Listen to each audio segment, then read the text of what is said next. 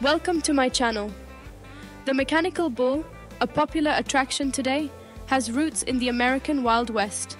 It began as a training tool for rodeo cowboys in the late 19th century. In the 1930s, the first mechanical simulators appeared, manually operated for cowboy training. The real breakthrough came in the 1980s when Texan Automation created an electronically controlled version. This invention quickly became popular in bars and parties.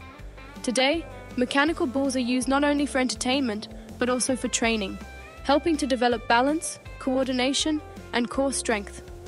Interestingly, this attraction has become part of pop culture, appearing in movies and TV shows. It symbolizes the spirit of adventure and challenge inherent in the American West, now accessible to people worldwide. Don't forget to subscribe and hit the like button.